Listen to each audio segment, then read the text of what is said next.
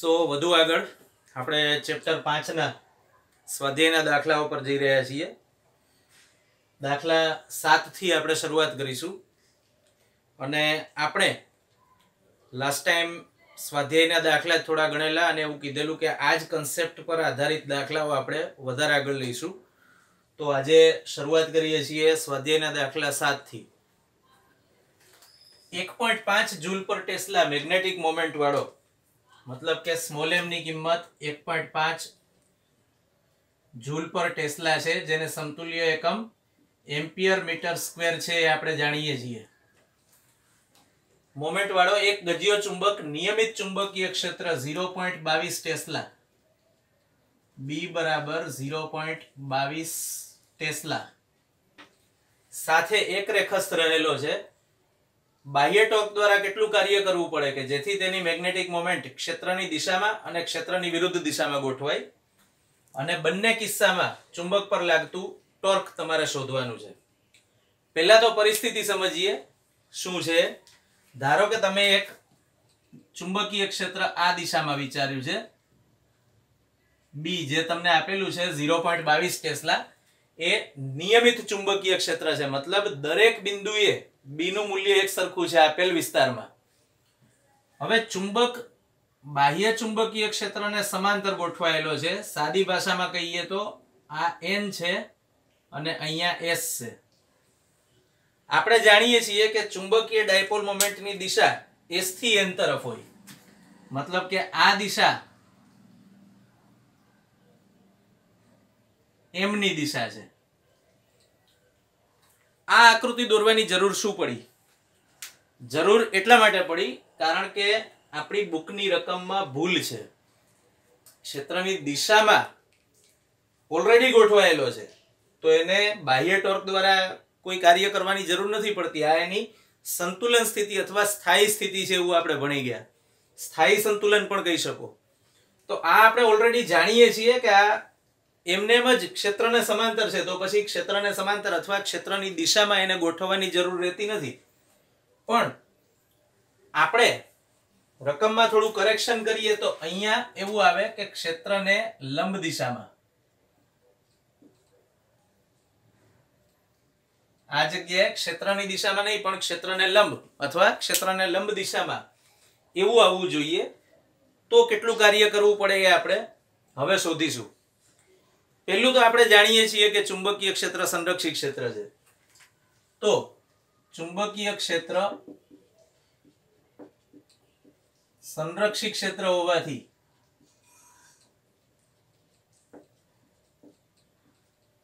જે કંઈ કાર્ય થાય છે એ સ્થિતિ ઉર્જાના ફેરફાર રૂપે આપણને મળે છે. એવું આપણે જાણીએ છીએ. તો જ્યારે તમે કાર્યનો હિસાબ કરશો, ત્યારે એ કાર્ય સ્થિતિ ઉર્જાના ફેરફારના કારણે મળશે. W equals to delta u જ્યાં યુ ચુંબકીય સ્થિતિ ઊર્જા છે. વધુ થોડું વિચારીએ તો ડેલ્ટા યુ એટલે અંતિમ મૂલ્ય માઇનસ પ્રારંભિક મૂલ્ય. યુ બરાબર, આપણે જાણીએ છીએ સૂત્ર છે minus m b cos theta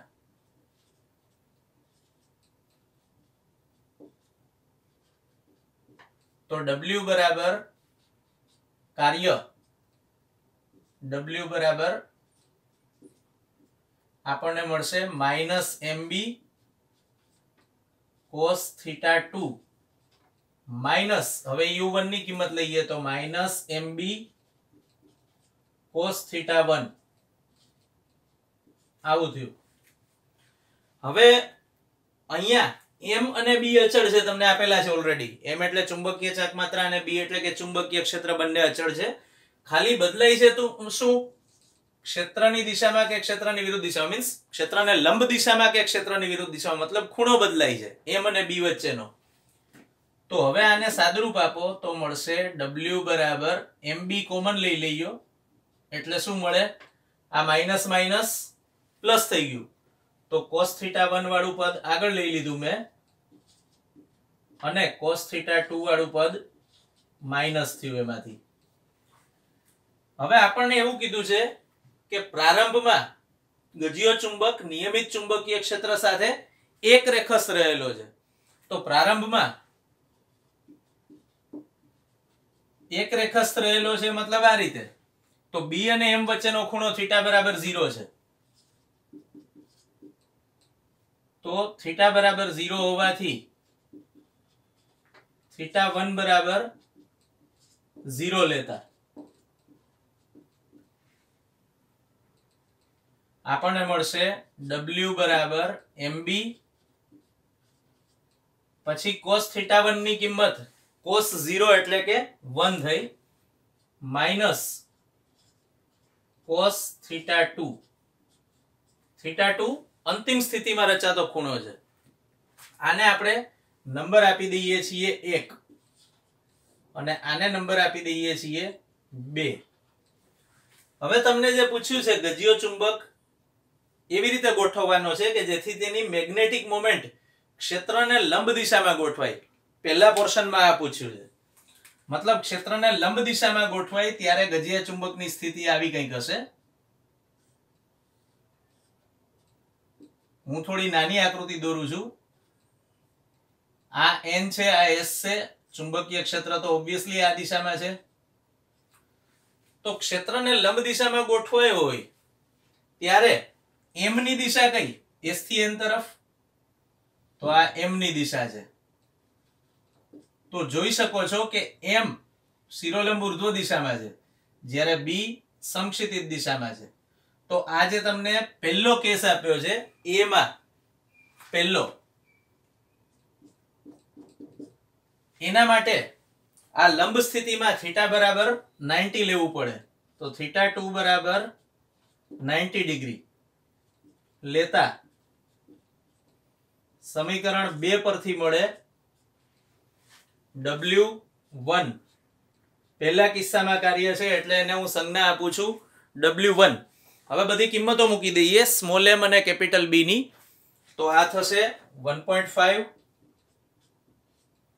બી ની કિંમત ઝીરો પોઈન્ટ ટ્વેન્ટી ટુ અને આપણે થીટા ટુ બરાબર નાઇન્ટી લીધું.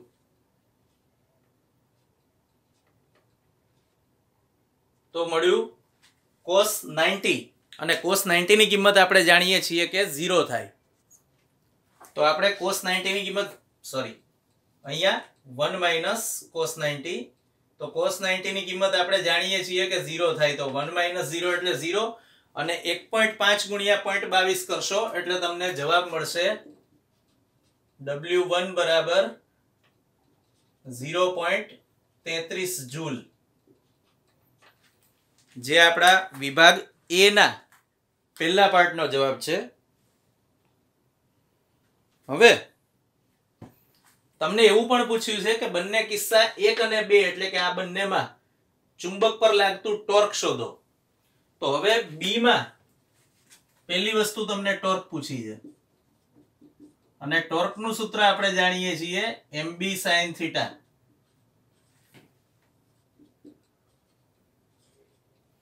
પાછી બંને કિંમતો લઈએ. એમ એટલે વન પોઈન્ટ ફાઈવ, બી એટલે ઝીરો પોઈન્ટ બાવીસ અને સાઈન નાઇન્ટી. કારણ કે આપણે નાઇન્ટી ડિગ્રી ખૂણે કેટલો ટોર્ક લાગે એ શોધવું છે. તો ફાઇનલી આ પાછું વન થઈ જશે અને જવાબ આવશે zero point thirty three. Newton metre. આટલું ટોર્ક એના પર પ્રારંભિક સ્થિતિમાં લાગશે. હવે બીજી વસ્તુ વિચારીએ કે આ ટોર્ક લાગવાનું રીઝન શું? આપણે એકવાર તો થિયરીમાં ઓલરેડી ભણી ચૂક્યા છીએ. પણ એક વખત રિકોલ કરીએ. તો એન પર ક્ષેત્રની દિશામાં બળ લાગે એવું આપણે જોયેલું છે. તો આ એન પર લાગતું બળ છે. એનો સદિશ મેં દર્શાવ્યો અહીંયા. એ જ રીતે એસ પર લાગતું બળ આ દિશામાં એફએસ ક્ષેત્રની વિરુદ્ધ દિશામાં લાગે આપણે જાણીએ છીએ. તો બે બળોની કાર્યરેખાઓ જુઓ, હું દોરું છું, બે બાજુ લંબાવી દઉં છું. બેયના સદિશોને સામસામેની દિશામાં મેં લંબાવી દીધા, આગળ પાછળ લંબાવી દીધા. તો બે વચ્ચે કંઈક લંબ અંતર છે. બીજી રીતે કહીએ તો બે સમાન મૂલ્યના છે, પરસ્પર વિરુદ્ધ દિશામાં છે, પણ એક રેખસ્થ નથી. એટલે એના કારણે અહીંયા બળ યુગ્મ લાગ્યું અને એના કારણે ટોર્ક ઉત્પન્ન થયો. હવે બીજી સ્થિતિ વિચારીએ. તો બીજી સ્થિતિમાં એવું કીધું છે કે ગજિયો ચુંબક ક્ષેત્રની વિરુદ્ધ દિશામાં ગોઠવાય. તો હવે બીજી સ્થિતિ ફરીથી એકવાર અહીંયા ડ્રો કરીને જોઈએ આપણે. ક્ષેત્રની વિરુદ્ધ દિશામાં કઈ રીતે ગોઠવાય? આ એસ છે અને આ એન છે. સોરી આ એન છે અને આ એસ છે. તો દેખીતી વાત છે, હવે ચુંબકીય ચાકમાત્રાની દિશા પાછી એસથી એન તરફ, એટલે કે આ દિશામાં. ચુંબકીય ક્ષેત્ર બી તો આ દિશામાં જ છે, આપણે જાણીએ છીએ. જે અહીંયા પણ આ દિશામાં હતું. તો હવે આ બંને વચ્ચેનો ખૂણો 180 થયો. મતલબ કે હવે તમારે ચુંબકને આ સ્થિતિમાં ગોઠવવાનો છે. તો આ સ્થિતિ હતી થીટા બરાબર 90 વાળી. જ્યારે અહીંયા એ નો પાર્ટ બીજો, જેમાં તમને પૂછ્યું છે ક્ષેત્રની વિરુદ્ધ દિશામાં ગોઠવાય, એ સ્થિતિ આ છે. તો હવે આમાં આપણે થીટા ટુ બરાબર શું લેવું પડશે? બે વચ્ચેનો ખૂણો વન કારણ કે બંને પરસ્પર વિરુદ્ધ દિશામાં છે. તો થીટા ટુ બરાબર વન એટી લેતા સમીકરણ બે પરથી શું મળ્યું આપણને? ડબલ્યુ ટુ ઇક્વલ્સ ટુ એક પોઈન્ટ પાંચ ગુણ્યા પોઈન્ટ બાવીસ. One minus cos one eighty હવે આને સાદુરૂપ આપીએ આપણે. તો વન પોઈન્ટ ફાઈવ ગુણ્યા પોઈન્ટ બાવીસ એટલે આપણે જાણીએ છીએ ઓલરેડી પોઈન્ટ તેત્રીસ. વન માઇનસ કોસ વનની કિંમત માઇનસ વન છે. એટલે આ માઇનસ સાથે આ માઇનસ પ્લસ થઈ ગયું. એટલે ટુ ટોટલ. તો ડબલ્યુ ટુ ની કિંમત મળશે પોઈન્ટ તેત્રીસ ગુણ્યા બે એટલે કે પોઈન્ટ છાસઠ જૂલ. મતલબ કે જો તમારે ક્ષેત્રની વિરુદ્ધ દિશામાં ગોઠવવું હોય એને ચુંબકને, તો થતું કાર્ય પોઈન્ટ છાસઠ જૂલ મળશે. અને બીજી વસ્તુ કે જો તમારે આ કિસ્સામાં ટોર્ક ગણવું હોય, જે તમને પૂછ્યું છે પાર્ટ ટુ માં, તો ટોર્કની ગણતરી આપણે કરી શકીએ. હું અહીંયા ગણતરી કરીને દેખાડું છું, બીજા કિસ્સામાં જે ટોર્ક લાગે એની.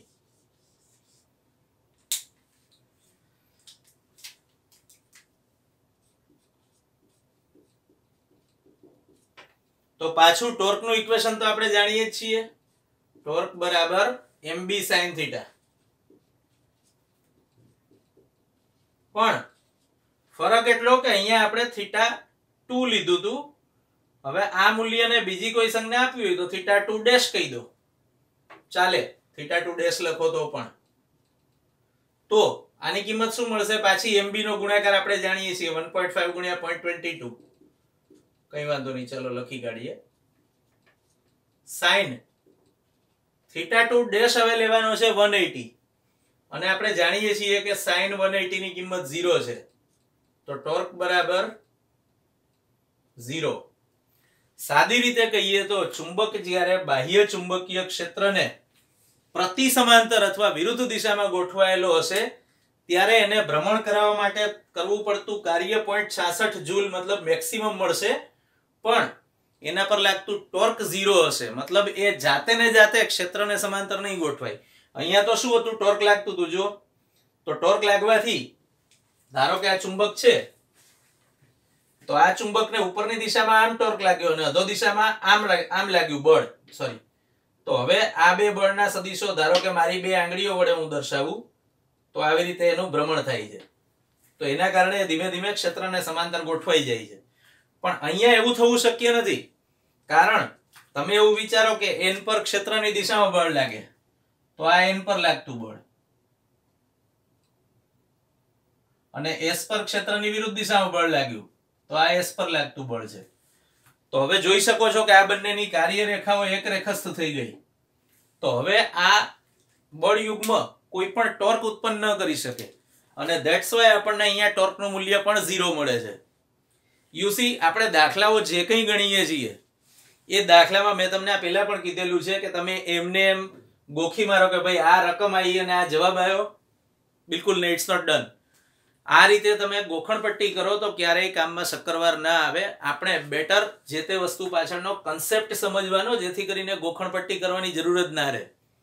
અને રહી વાત એક્ઝામમાં લખવાની, તો એક્ઝામમાં તમે આ બે આકૃતિઓ ડ્રો ના કરો તો પણ ચાલશે, કોઈ ફરક નથી પડતો. તમે ખાલી લખાણ આપી શકો.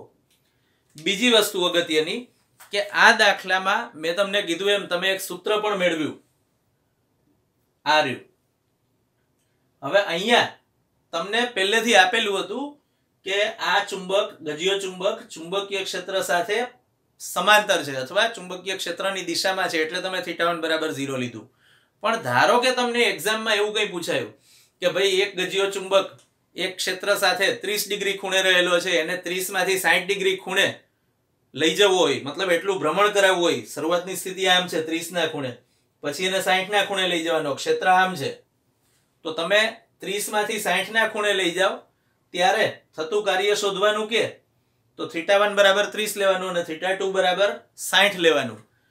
ત્રીસ આમ છે, આ ચુંબકીય ક્ષેત્ર અને આ સાઠ તો આ એક જનરલ સૂત્ર છે એવું પણ તમે કહી શકો.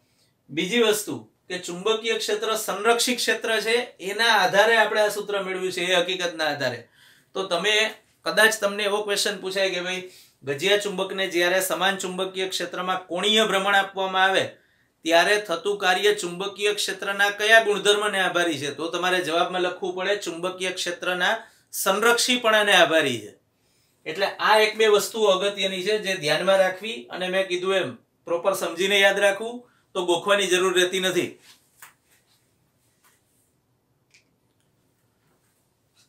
સ્વાધ્યાયનો દાખલો પાંચ પોઈન્ટ નવ. હવે આપણે જોવા જઈ રહ્યા છીએ. સોળ આટા અને દસ સેન્ટીમીટર ત્રિજ્યા વાળું એક વર્તુળાકાર ગૂંચડું. પહેલા તો જે માહિતી આપી છે હું લખી લઉં. ટોટલ સોળ આટા આપ્યા છે. અને ત્રિજ્યા દસ સેન્ટીમીટર. એટલે કે ઝીરો પોઈન્ટ વન મીટર. આટલી ત્રિજ્યા વાળું એક વર્તુળાકાર ગુચડું ઝીરો પોઈન્ટ પંચોતેર એમ્પિયર વિદ્યુત પ્રવાહ ધરાવે છે. મતલબ આઈ બરાબર ઝીરો પોઈન્ટ પંચોતેર એમ્પિયર છે. અને પાંચ ગુણ્યા દસની માઇનસ બે ટેસ્લા બાહ્ય ચુંબકીય ક્ષેત્રને લંબ રૂપે બી બરાબર પાંચ ગુણ્યા દસની માઇનસ બે ટેસ્લા. બાહ્ય ચુંબકીય ક્ષેત્રને લંબ રૂપે સ્થિર રહેલું છે. જો પેલી વસ્તુ વર્તુળાકાર ગુચડા છે ગુચડું છે, આમ. આવી રીતે છે. અને એમાં ટોટલ સોળ આટા છે. બરાબર? મેં બધા નથી દેખાડ્યા, પણ આ રીતે આવો એનો શેપ છે. અને તે બાહ્ય ચુંબકીય ક્ષેત્રને લંબ રૂપે સ્થિર રહેલું છે. બાહ્ય ચુંબકીય ક્ષેત્ર આ દિશામાં છે. તો જોઈ શકો છો કે ગૂંચડું એને લંબ રૂપે સ્થિર રહેલું છે. સ્થિર રહેલું છે મતલબ એ ચાક ગતિ કરતું નથી, ભ્રમણ કરતું નથી અને રેખીય ગતિ પણ કરતું નથી. ક્ષેત્રની દિશાને લંબ. હવે આ ક્ષેત્ર છે, આ દિશામાં છે. એને લંબ દિશામાં વિચારો, મતલબ આ દિશા. તો ક્ષેત્રની દિશાને લંબ અને ગૂંચળાના સમતલમાં રહેલી અક્ષ. ગૂંચડું આ ગૂંચડું છે, આપણે આ રીતે દેખાડેલું છે, ધ્યાનમાં રાખજો, આટા અહીંયા છે આમ. તો ગૂંચડાના સમતલમાં રહેલી અક્ષ જે બાહ્ય ચુંબકીય ક્ષેત્રને લંબ હોય, એને તમે આ દિશામાં પણ વિચારી શકો અને આ દિશામાં પણ વિચારી શકો. આપણે સરળતા ખાતર આ અક્ષ વિચારી. ક્ષેત્રની દિશાને લંબ અને ગૂંચડાના સમતલમાં રહેલી અક્ષને અનુલક્ષીને ગૂંચડું મુક્ત ભ્રમણ કરી શકે છે. મતલબ કે આ એની ભ્રમણાક્ષ થઈ. આને અનુલક્ષીને ભ્રમણ કરી શકે છે. હવે ગુચડાને થોડુંક ગુમાવીને છોડી દેતા તે તેની સ્થિર સંતુલન સ્થિતિની આસપાસ બે સેકન્ડ ઇન્વર્સ આવૃત્તિથી દોલન કરે છે. ન્યુ બરાબર two point zero second inverse ગુચડાની જડત્વની ચાકમાતા માત્રા તેની ભ્રમણાક્ષને અનુલક્ષીને શોધો. મતલબ ગૂંચડું જો શરૂઆતમાં આમ છે, હવે તમે એને થોડુંક ગુમાવીને છોડી દીધું. તો એ પાછું ક્ષેત્રને સમાંતર સ્થિતિમાં ગોઠવાઈ જશે, જે સંતુલન સ્થિતિ હતી એમાં ગોઠવાઈ જશે. તો પહેલી વસ્તુ એ સમજવાની છે કે અહીંયા તમને જે કોઈ મૂલ્યો આપ્યા છે, એમાં પોઈન્ટ ઝીરો બે જગ્યાએ છે. અને મેં બંને જગ્યાએ લખ્યા છે. પોઈન્ટ પછીનો ઝીરો ક્યારેય અવોઇડ ના કરવો, તમારો ફાઇનલ આન્સર ગણતરી કરતી વખતે ફાઇનલ આન્સર યોગ્ય સાર્થક અંકોને ધ્યાનમાં રાખીને લખવાનો છે. સાર્થક અંકો પ્રોપરલી યાદ ના હોય તો એકવાર જોઈ જવા. ધોરણ અગિયારમાં આપણે ઓલરેડી ભણી ચૂક્યા છીએ ચેપ્ટર બેમાં. પણ અહીંયા જે ફાઈવ પોઈન્ટ ઝીરો અને ટુ પોઈન્ટ ઝીરો લખ્યા છે, એના બદલે એક્ઝામમાં ભૂલે ચૂકે ફક્ત ફાઈવ કે ફક્ત ટુ ના લખવા, તમારો અડધો માર્ક એ વાત પર કાપી શકાય છે આવું યાદ રાખવું. હવે આપણે એવું જોઈ ગયા કે જ્યારે મૂછડું ચુંબકીય ક્ષેત્રમાં મૂકેલું હોય ત્યારે એના માટે આવર્તકાળનું સૂત્ર ટી બરાબર two pi root over I by m b છે. તો એ સૂત્ર પહેલા તો હું લખી લઉં છું. ટી બરાબર two pi root over I by m b પણ યાદ રાખવાની બાબત એ છે કે અહીંયા આઈ જડત્વની ચાક માત્રા છે, એટલે એના માટે હું સંજ્ઞા લઈ લઉં છું આઈ એમ જ્યાં આઈ એમ ગુચડાની જડત્વની ચાક માત્રા છે. ખાસ ધ્યાનમાં રાખવાની બાબત આપણે વિદ્યુત પ્રવાહ માટે સંજ્ઞા આઈ લીધી છે. આના માટે I M moment of inertia એટલે આપણે એમ લખ્યો છે. એમ ના ગમે અથવા ઉતાવળમાં બંને એમ વચ્ચે કન્ફ્યુઝન થતું હોય ને એમ એમ ઉડાડીને આઈ બાય બી નથી કરવાનું. કન્ફ્યુઝન થાય એવું લાગે તો આઈના બદલે આઈ ડેશ એવી સંજ્ઞા પણ લઈ શકો છો, જે અનુકૂળ પડે. તો પહેલા તો હું આ સમીકરણનો વર્ગ કરું બે બાજુ. ટી સ્ક્વેર બરાબર four pi square I m by m b આવું સૂત્ર મળ્યું. જો અત્યાર સુધી આપણે જે કંઈ કર્યું છે એ લોજિક વાપરીને કર્યું છે. તમને આવૃત્તિ આપી છે અને આવૃત્તિ સાથે સંકળાયેલી વસ્તુ છે આવર્તકાળ. આ પહેલું લોજિક એટલે આપણે આવર્તકાળનું સૂત્ર લીધું. બીજું બીજું લોજિક એ છે કે તમને જડત્વની ચાક માત્રા શોધો એવું પૂછ્યું છે અને આ ચેપ્ટરમાં અત્યાર સુધી આપણે જે કંઈ ભણ્યા એમાં જડત્વની ચાક માત્રા જેમાં સંકળાયેલી હોય એવું એકમાત્ર સૂત્ર આ છે. અને જોઈ શકો છો કે એમાં ટી ઓલરેડી આવે જ છે જેના પરથી આ આવૃત્તિ સંકળાયેલી છે જેની સાથે. એટલે આપણે આ સૂત્ર લીધું. તો ફિઝિક્સમાં પહેલી વસ્તુ એ છે કે લોજિક ડેવલપ કરો અને જે કોઈ સૂત્ર જ્યાં ક્યાંય યુઝ થતું હોય એ પર્ટિક્યુલર એ જ સૂત્ર આપણા મગજમાં આવવું જોઈએ. થોડી પ્રેક્ટિસ કરવી પડશે, પણ પછી વાંધો નહીં આવે. તો હવે આના પરથી હું આઈએમનું સૂત્ર લખું, કારણ કે મને તો જડત્વની ચાક માત્રા પૂછી છે. તો આઈએમનું સૂત્ર શું થયું? આઈએમ બરાબર M B T square upon four pi square. હવે જોઈ શકો છો કે આ સૂત્રમાં બી આપ્યો છે. ટી ભલે ડાયરેક્ટલી નથી આપ્યો, પણ ન્યુ આપ્યું છે, એના પરથી હું વન બાય ટી કરીને આવર્તકાળ શોધી શકું છું. ફોર પાઈ સ્ક્વેર આપણે ઓલરેડી જાણીએ છીએ, પણ સ્મોલ એમ આપેલું નથી. તો આપણે જાણીએ છીએ કે સ્મોલ એમ બરાબર ચુંબકીય ચાક માત્રા છે.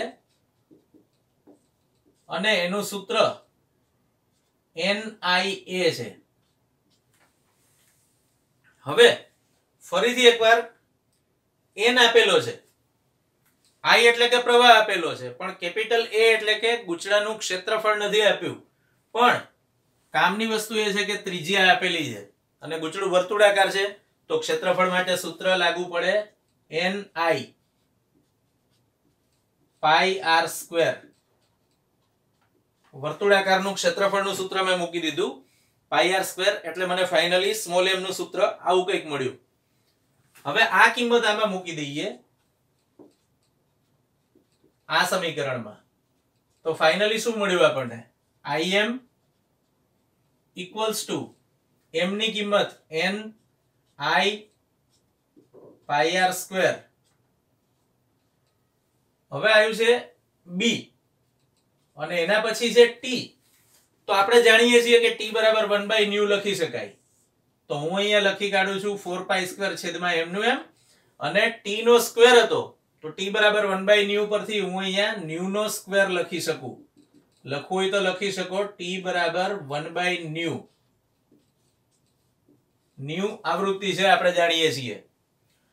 તો હવે અહીંથી એક એક વખત પાઈ કેન્સલ થઈ ગયું. કિંમતો મૂકી દો એન બરાબર સોળ. આઈ એટલે વિદ્યુત પ્રવાહ આપ્યો છે ઝીરો પોઈન્ટ પંચોતેર. આર એટલે કે ત્રિજ્યા zero point one square. B ચુંબકીય ક્ષેત્ર આપ્યું છે five point zero ten raise to minus two. અને છેદમાં ફોર, પાઈ એટલે ત્રણ પોઈન્ટ ચૌદ. અને ન્યુ ની કિંમત આપી છે ટુ પોઈન્ટ ઝીરો. તો આ ટુ પોઈન્ટ ઝીરો નો સ્ક્વેર. ફાઇનલી આ બધી વસ્તુને સાદુરૂપ આપશો એટલે તમને જવાબ મળશે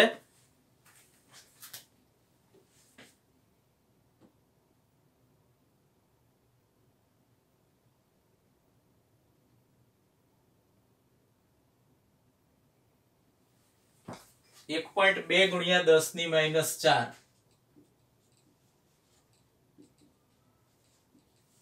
જડત્વની ચાક માત્રાનો એકમ કિલોગ્રામ મીટર સ્ક્વેર છે. આ જવાબ મળ્યો. ખાસ છેલ્લી એક અગત્યની વસ્તુ જે આપણે યાદ રાખવાની છે કે તમારી એક્ઝામમાં આંકડાઓ બદલી શકાય છે. મગજમાં રાખજો. રકમમાં બહુ સ્લાઇડ ચેન્જ કરી નાખવામાં આવે. કદાચ અહીંયા બે સેકન્ડ ઇન્વર્સના બદલે વીસ સેકન્ડ ઇન્વર્સ આપ્યું હોય, એવું પણ બની શકે. તો આપણે આ બાબતમાં થોડા સાવચેત રહેવું. એક પોઈન્ટ પણ આપણી ધ્યાન બહાર આપણી નજર બહાર જવો ના જોઈએ.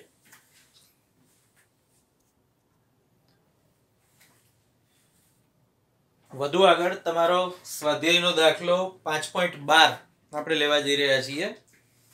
જેમાં તમને એવું કહેવામાં આવ્યું છે, ઝીરો પોઈન્ટ અડતાલીસ joule per tesla magnetic moment વાળા. ઝીરો પોઈન્ટ અડતાલીસ જૂલ પર ટેસ્લા નાના ગજિયા ચુંબકના કેન્દ્રથી દસ સેન્ટીમીટર અંતરે. આર બરાબર દસ સેન્ટીમીટર છે, એટલે કે ઝીરો પોઈન્ટ વન મીટર છે. આટલા અંતરે ચુંબકની અક્ષ પર અને વિષુવરેખા પર ચુંબકના ચુંબકીય ક્ષેત્રની દિશા અને મૂલ્ય શોધો.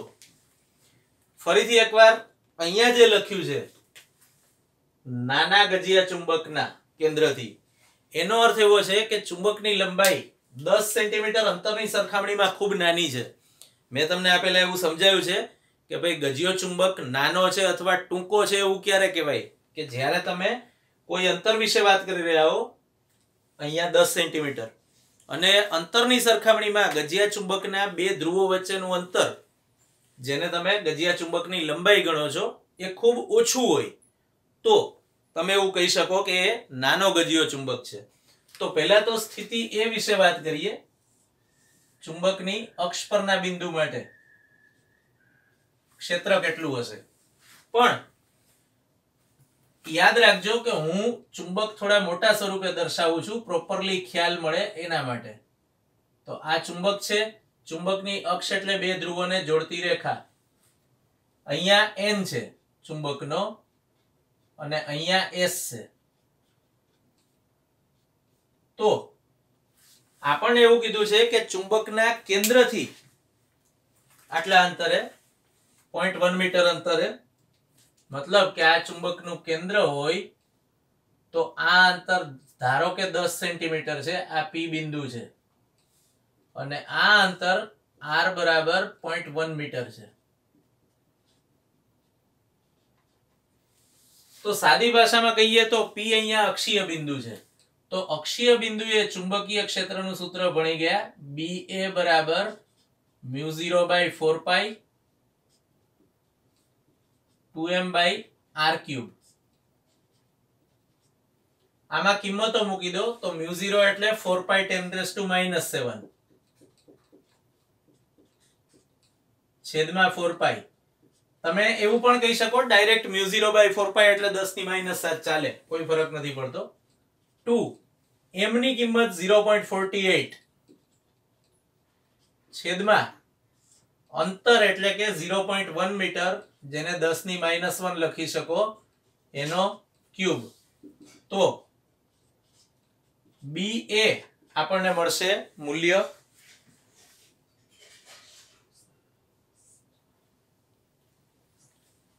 ઝીરો પોઈન્ટ છન્નું ગુણ્યા દસની માઇનસ ચાર ટેસ્લા.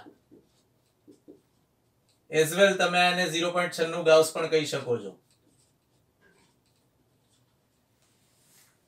અને મૂલ્ય તો આપણે શોધી કાઢ્યું, પણ આપણને દિશા પણ પૂછી છે. તો દિશા એસથી એન તરફ એટલે કે આ દિશામાં મળશે.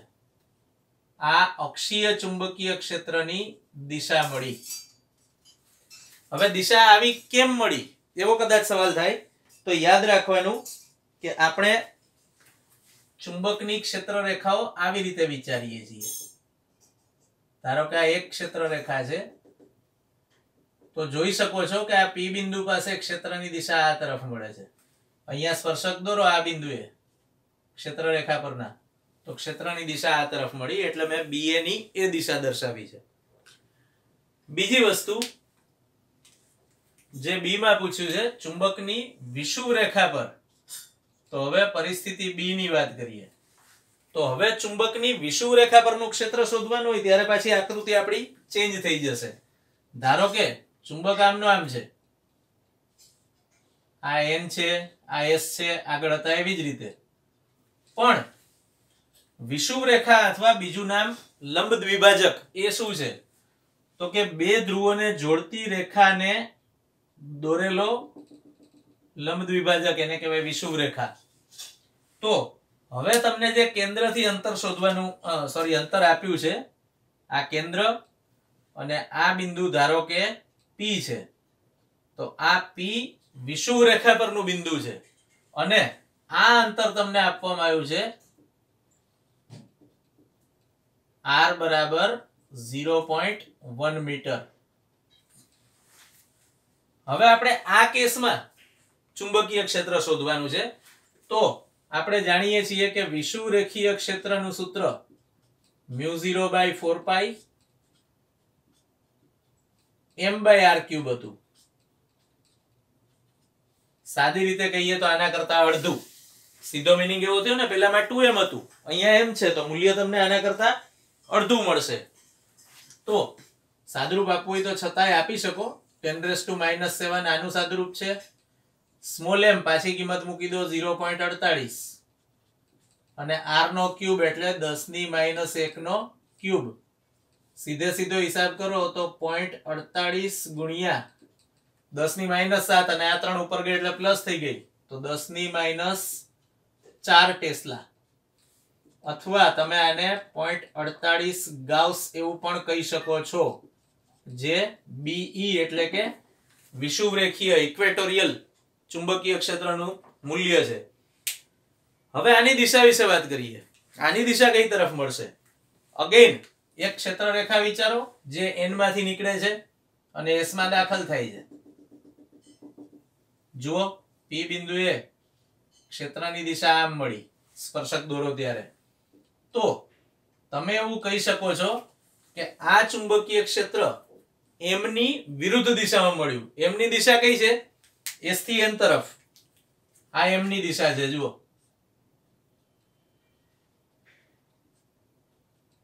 તો ચુંબકીય ચાકમાત્રા એમની વિરુદ્ધ દિશામાં તમને આ ચુંબકીય ક્ષેત્ર મળ્યું.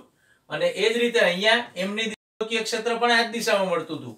તો યાદ હોય તો જ્યારે તમે સદિશ સ્વરૂપે આ સમીકરણો લખતા હતા, ત્યારે તમે આવું લખતા હતા આ સમીકરણને B A vector equals to mu zero by four pi two પછી એમ સદિશ સ્વરૂપે લખતા હતા. છેદમાં આર ક્યુબ તો આના પરથી તમે એવું કહી શકો કે વેક્ટર એમ ની દિશામાં જ વેક્ટર બી મળે છે. મતલબ કે ચુંબકીય ચાકમાત્રાની દિશામાં જ ચુંબકીય ક્ષેત્ર મળે છે. પણ જ્યારે તમે આ ઇક્વેશન લખતા હતા, ત્યારે તમે આવું લખતા હતા B E vector equals to minus mu zero by four pi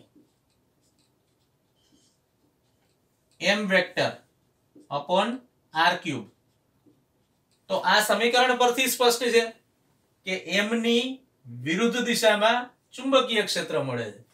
અહીંયા માઇનસ નહોતું, એટલે આ ચુંબકીય ક્ષેત્ર એમની દિશામાં હતું. જ્યારે બીજા ઇક્વેશનમાં માઇનસ હાજર છે એટલે આ એમની વિરુદ્ધ દિશામાં મળતું ચુંબકીય ક્ષેત્ર છે. જોઈ શકો છો એમ આ તરફ.